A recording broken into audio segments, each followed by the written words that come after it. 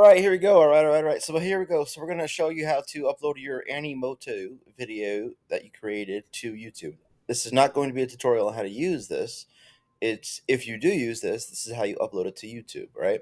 So once you're done with your Animoto or however you say it, uh, you would just hit exports, share, YouTube, right? Do, do, do, and then it renders the video, blah blah blah. All right, preparing. Once it's done loading, you hit share.